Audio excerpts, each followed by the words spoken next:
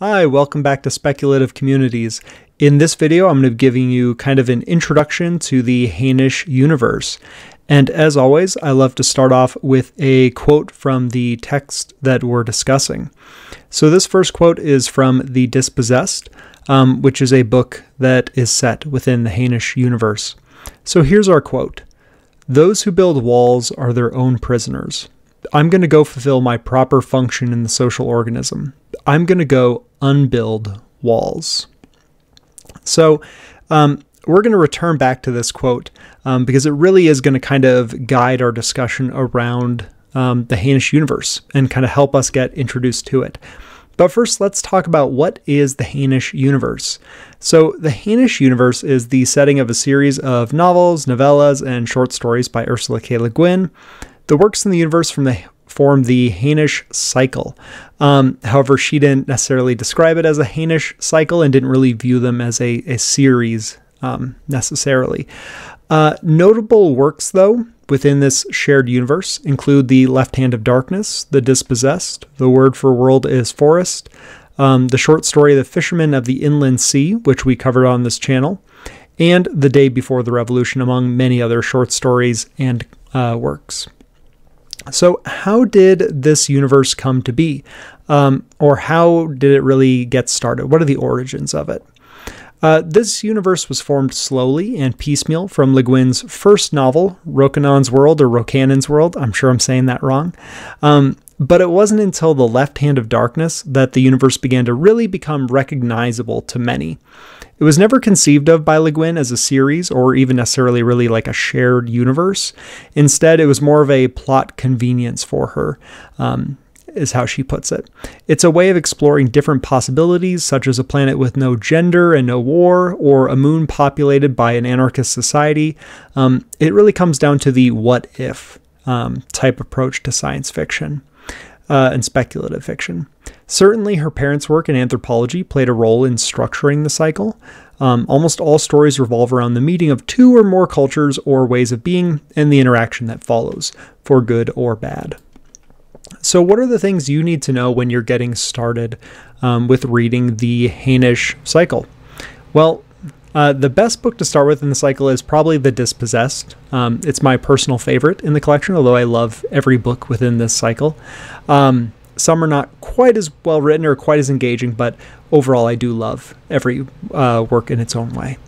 Um, the best book to start with, though, in the cycle is The Dispossessed, as it's placed not only earliest in the loose chronology, but it articulates the ethos for the entire universe, which, again, we'll come back to. However, any book may be appropriate spot to hop into. Uh, the Left Hand of Darkness is the most well known work within the universe, and it places the Ekumen, which is a central feature of the universe, at the center of the work, and it's also the last um, one in the chronology of the universe. So, the first thing you need to know is that it's really kind of a loose canon. This is not a series, um, it's very much a playground for her to work within, right? So, between stories, details of the universe change or are adjusted for convenience of narrative. Um, sometimes timelines can get a little bit fudged. Uh, sometimes um, details might get kind of swapped around. Um, really don't go into this expecting kind of a um, Lord of the Rings style approach or a J.R. Tolkien or even um, like a Dune approach where there's really like a solid canon to it. Instead, you really want to be thinking this more as like a collection of tales that all share a um, an ethical background um, and kind of a philosophical approach. Now, they are all within the same shared universe, so you can kind of go like, oh, I recognize this place from this place. Um, but you really don't want to approach it by like mapping everything out into detail because your maps aren't always going to be lining up. Speaking of that, let's kind of um, map out this universe a little bit. I know I said not to do that, but there are a couple things that you should know that are pretty consistent between all of the works. So, first things first are the Hain. Um, the Hain are kind of the original human beings.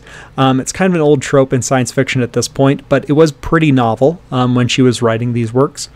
Uh, the Hain are kind of um, the original human beings that seeded the galaxy um, and they're the origins of Earth human beings, but also other um, aliens, if you want to think of them that way, but human beings on other planets, um, such as the race of people we meet in The Dispossessed, the Cetians, or the um, group we meet in The Left Hand of Darkness, or The Word for World is Forest.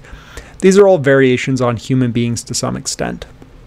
Uh, some with different abilities or different physical properties, but all human beings originating from the Hainish group. Now, in the chronology of it, which we're not going to get into too much, um, the Hainish seeded all these planets partially as experiments or um, other endeavors, and then contact was lost between all these different groups.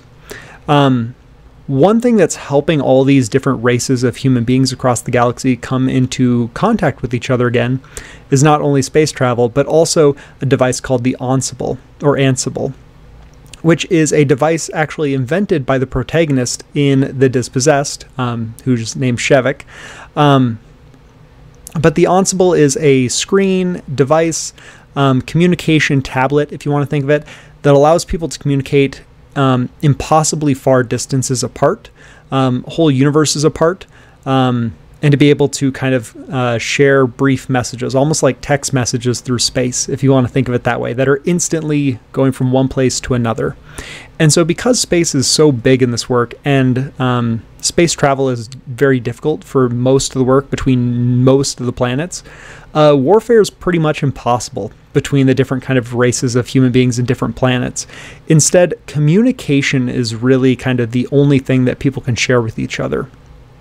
Um, and all these this kind of collection of planets is formed is known as the Ekumen, which is kind of a loose collection of information trading member planets, um, joining for the purpose of cooperation, adventure, scientific progress, and joy right?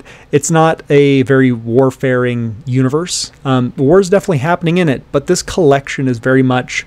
Um, it has its political roots in the Ansible. It's notable that Shevek, um, kind of this loose anarchist, um, an anarchist in an anarchist society who's fighting back against that society in many ways.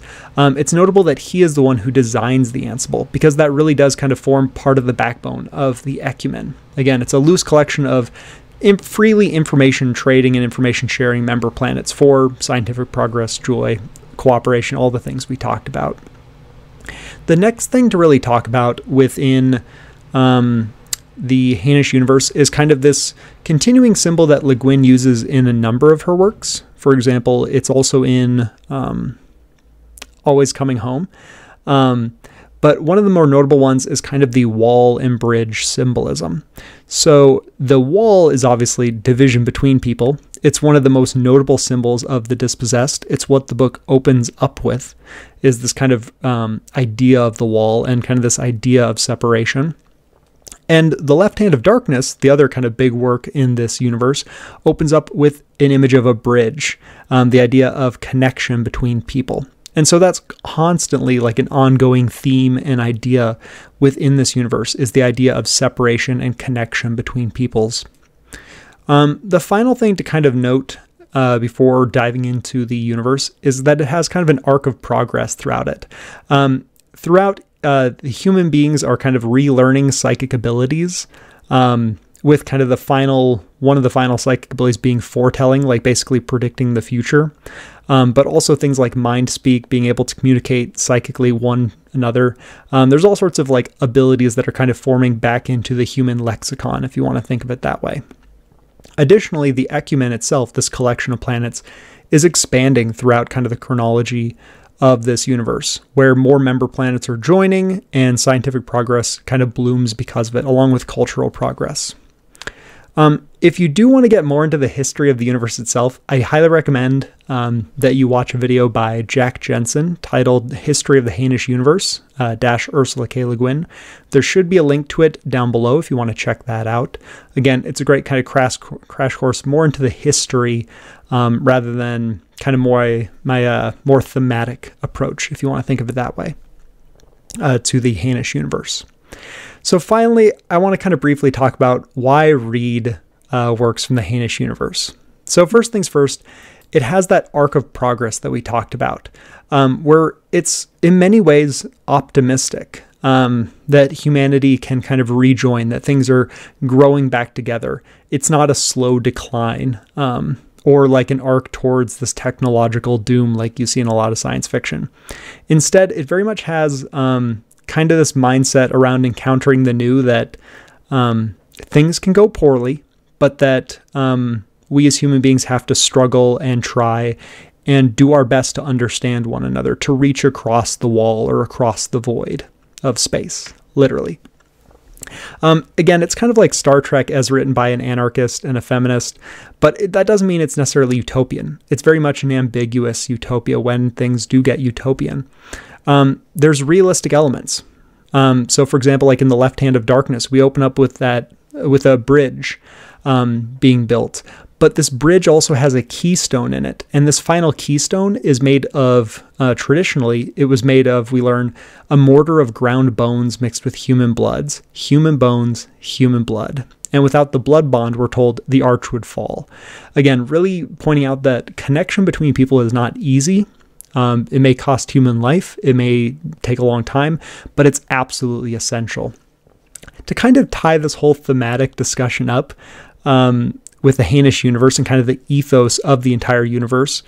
Um, I want to quote from Ursula K. Le Guin's essay, American SF and the Other, in the November 1975 issue of Science Fiction Studies. Um, in it, she kind of talks about um, how so much of science fiction is about viewing things as the other, viewing things with the alien, and encountering it. And she really kind of critiques um, the approach to what is perceived as the other. Here's what she says If you deny any affinity with another person or kind of person, if you declare it to be wholly different from yourself, as men have done to women, as class has done to class, and nation has done to nation, you may hate it or defy it, but in either case, you've denied its spiritual equality and its human reality. You have made it into a thing, to which the only possible relationship is a power relationship, and thus you have fatally impoverished your own reality. You have, in fact, alienated yourself. Again, this whole series, the whole ethos of it, goes back to that quote we started off with, um, which is the unbuilding of walls. I think Le Guin kind of saw herself a little bit in Shevek. Um, and I think any reader of Le Guin's, especially the Hainish universe, really finds themselves in Shevek to some extent. That desire to kind of meet with the other, um, to encounter the other and to acknowledge its humanity while still realizing um, the differences present, right? To unbuild walls. So, thank you for watching. Um, I hope you go out and um, enjoy something from the Hainish uh, universe. It's a great universe to dive into if you haven't before. Um, and with that said, uh, thanks for watching. I'll see you in the next video. Peace.